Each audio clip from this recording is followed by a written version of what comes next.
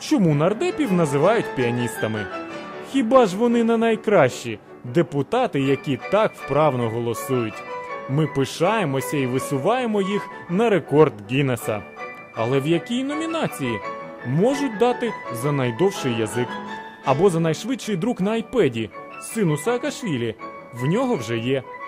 А в сина Януковича скоро буде свій рекорд Гіннеса або песикам за ось це. Правда, схожі на наших? Оголошуємо конкурс. Придумайте Гіннес номінацію для нардепів піаністів і виграйте.